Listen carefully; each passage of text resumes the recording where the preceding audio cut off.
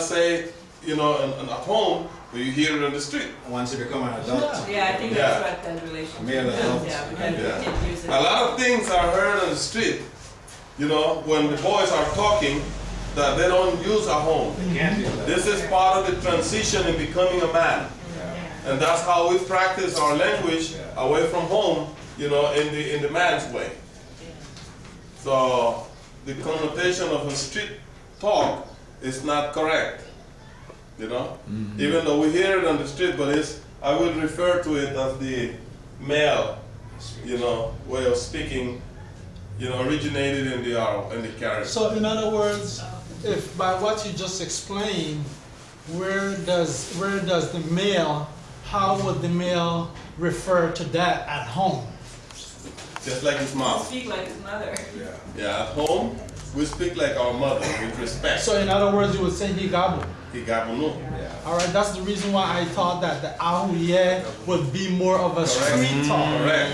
You So know? wait, wait, wait. As a, as a, Correct. That's the reason why, uh, I, you know. But it's not that. That's the way you consider it.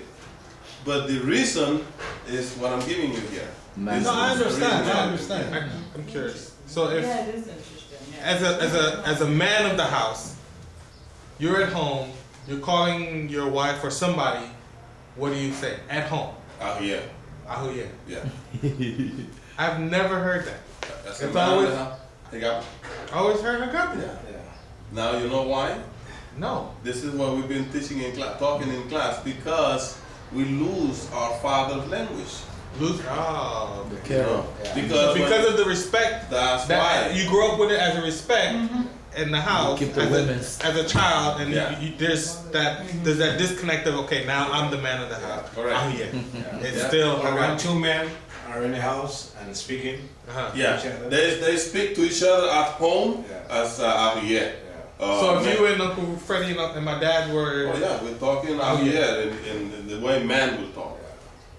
The only people are not allowed to speak like that are the children.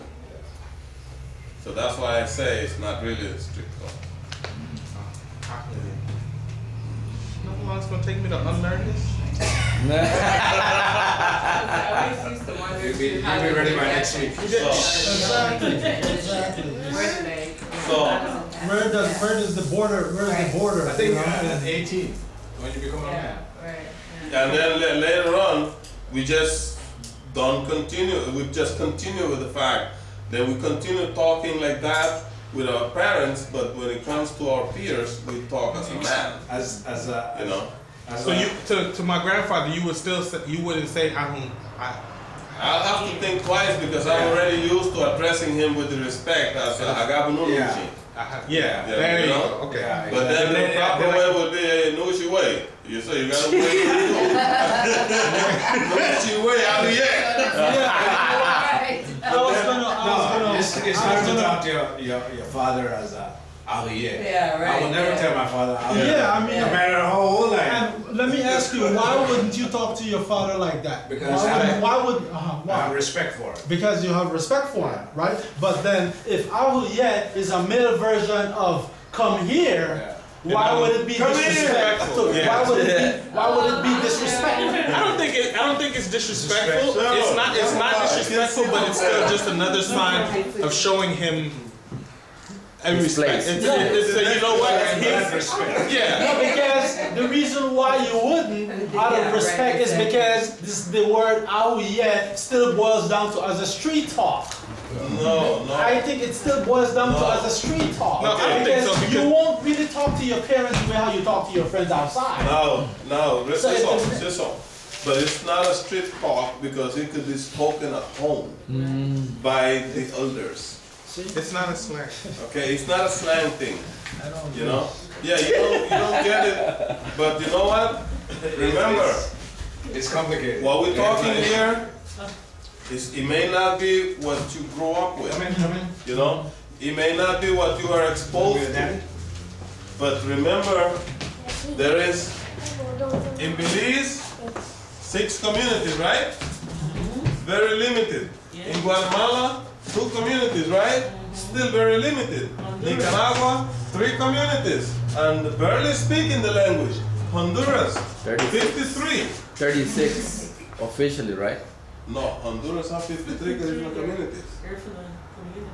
You know? Let me say. I want to say something. That's as far as- even like in English, even as an as a man, as an adult of as a man of my house, there's still I still pepper the way I speak to my uncle, my dad. Yeah. There's male um, figures Yeah. that I think twice on how to Yeah, you can't. approach you it. tell I'm that. still a man. Come He's here, a man. Yeah. You know what I mean? And it's just there's just Could you a please come here, Dad. You know. so- yeah. There's a there's a sign of respect or deference Yeah. that you have with them.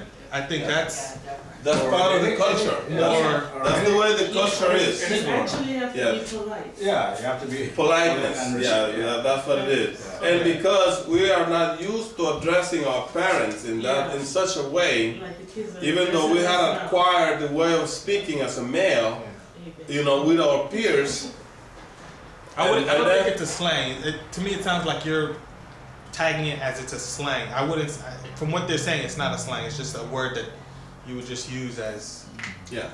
just another form of showing respect. Uh, yeah, because we learn to speak it from our mother. We are allowed to be to speak the language like our mother when we're children. Yeah. You know, so the mother speaks like that all the time, and the child learns to speak politely also with respect. Then when he grows up, even though before he grows up on the street, you know, Yeah. with his peers, Oh, they speak like boys. yeah. You know, like men. But when addressing the real adult, then we have to address them with politeness, like our mother. You know, so that's, that, that's how I understand it, and it will not be acceptable nowhere in any of these Garifuna communities to say that this way of speaking is a street talk. Okay, so it's, it's not. I can tell you right now that, that you know it will be like. Um, What's an example of a street talk? Then? I was just gonna ask that. Well, you brought it up. What, what, would you yeah, what consider? do you? Like what- the- the what bad would you words. refer- What would you refer as street talk? Not, not bad words. I but think what bad would you words. refer- What, no, what would you refer as s- a slang in Garifuna as street talk, apart from Ahuya, since The Ahuya street talk is not something really that you street talk. cannot use at home because it's, it's, it's not appropriate. Disrespect. It's only, no, not only disrespectful, it's, it's inappropriate. Not problem, not problem. How about Yeah. the Leño? How about the Leño? Yeah. Yeah, like, like, Or like Café that, Le Bon? yeah, this is a way that doesn't come from the, you know, the, from the, uh, you know, the language itself. Yeah. How are you? ¿Cómo estás? Tranquilo, right? The Leño. In Yeah, Spanish. but- How are you? Cool, Yeah. right? Okay, what I'm trying to what I'm trying to understand, like for instance, I don't really know what is a street talk in Garifuna from what is a home talk. So if I give an example in English, like for instance, if I go to my parents, I'm not gonna say what's up. I'll say how you doing. You know, what's up to me would consider a street talk. Correct. You know, Okay. so that's the, that's what I'm kind of asking as far as in Garifuna. Yeah, kakatombo. Mhm. Now, how is the, the You word what's up in English? What's the origin? Is that, So, no, is that proper English? No. No, it's broken English. Okay, now the difference is that this is not broken in Garifuna. This is proper Garifuna. You know, it came with the language. And it's appropriate to speak like this in any environment. It just limits certain people from speaking it. Like children and female and women. Is that correct? Is that Mhm, You got it. okay? I'll give you an example. Let's find some word that exists in both languages. Wait, can, before we go, Kakatombo, like he was saying, to me that sounds like that's a familiarity. Like you know, hey, it's a friend. I know you. Like you saying, if you if you saw him on the street, I would say that. But if you came into a, a business or a new house, you wouldn't greet somebody you know, don't know that you're not familiar with Unless, in that, not unless they're my friends. unless they're your friend, right? No grown-ups around. I think this is that. To me, that's a. I can see that as being know, like I a street understand, talk, I right? Yeah. So would that be, The proper would greeting that would be be- considered as a street talk in Garifuna? No. But you gotta remember too, there's not a, a direct translation. You can't say everything the same way in in one language to the other. So you're not gonna have a direct, you know, street talk. Kakatebe is the way female ask.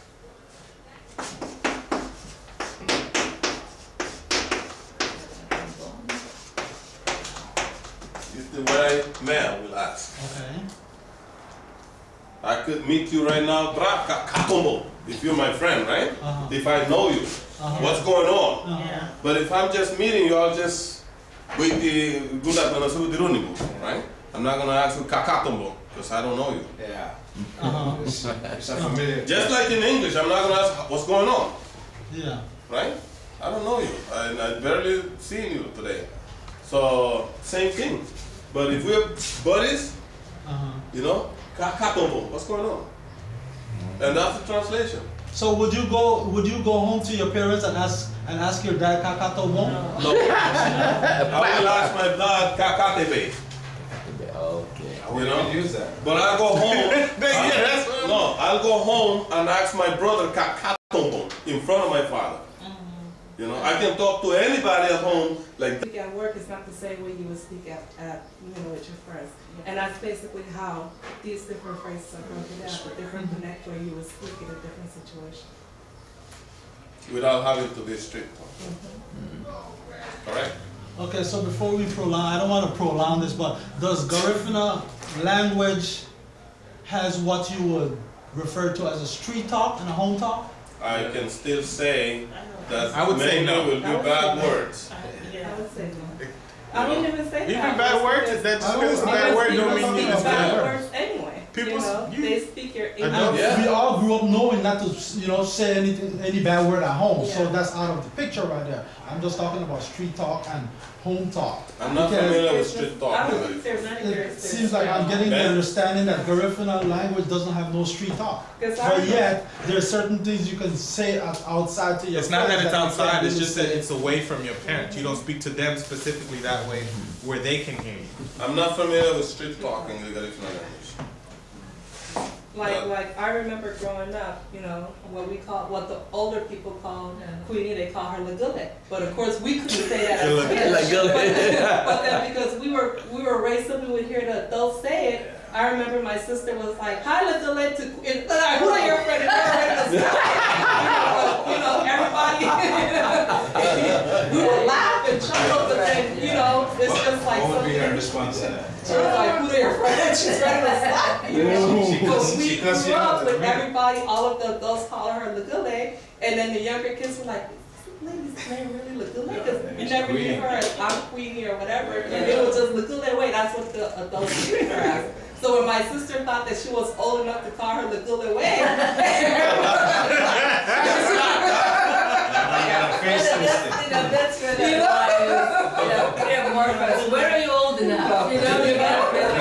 I don't think you get all the Maybe- You you gotta stay that in could your be considered generation. Street talk. Mm-hmm. Maybe then that could be considered street talk. Well, and- No, I think it's a generation. A nickname Yeah, that is like generation. You, you Yeah. can't jump your generation, I'm sorry. No Yeah, that's way. true. I agree It's not. You gonna can't happen, jump up a okay. generation Yeah. unless you Yeah. and First thing person I become say- very close. Because I know there's some adults that are very um, friendly with younger people, Yeah. and they can, you know, they. There's they a bridge that's been that, made there. nothing That's behind it, But then there's that bond that's been created over a period of years. Yeah. Yeah. The first thing Yeah. an older person will say, uh, "Ano man tapo mo daw?" Uh, yeah, we're- Bible no the mom. You know, yeah. yeah. Yeah, Dad is my friend, you know. I just said, yeah. You hear someone say that? Yeah. Careful. Hey, Babo no. Okay. So this is how you say, come and dance with me. Uh-huh. You know, Igabu, Babinaha, Numa. Numa. You notice how the infinitive verb remains there, right? Babinaha? Yeah.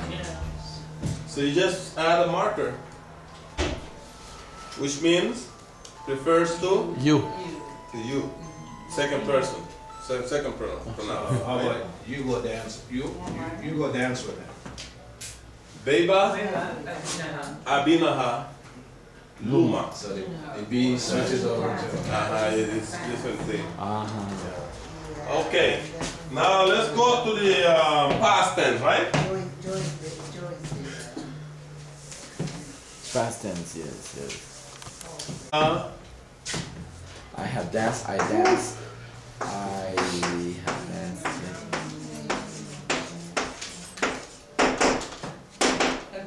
yes. Maybe if you add, I could have danced it. Abinaha Dunali. How do you translate that, Miss Magna? Bina had Or Mr. Ellis?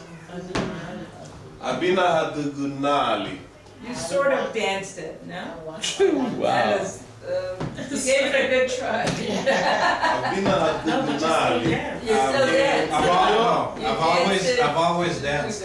I could have danced it. I'm good at the good now. The good now. I always, no, this I is in tried the to- past tense. Yeah. Yeah, I tried to dance. I've always, Already, When you use I always, it does, it's not past tense. I no, have no, tried to you've dance. already I tried to danced dance. that. Yeah, I have Uh, tried. okay, when do you use do good? Where's something the- that you've always, you've You always notice, done. You notice how I mean, it's not on Yeah, in here, right? It's the same thing with we add do good. right. The quali- Implies that you're not very happy with what you did, but you did it anyway. Ah. So if you could use try. Like I tried to dance it. Yeah, that's how it's, that's how I pronounce it. Where you, you you want to dance set it, it but so that's what yeah, it right, your effort. That's You what I not understood. That's how, yeah, that's how I translate. Yeah, yeah, I did my best, Yeah. right? Let's Yeah. try to. Oh, What yeah, I gave it a try, but I didn't like it. Did you do it? Yeah, yeah, yeah you did I that. think I did Gunali. Yeah, I did it I already. think about it. Yeah, right. I think I did Gunali, Mm. I dance. right? I tried. It's not something that you're very happy with, Mhm. you know, but you did it anyway. Yeah, So it's Wow. a, you're not content. yeah, Right. right, yeah. Yeah, you're You wanna use the expecting that somebody may not be content with it. That's why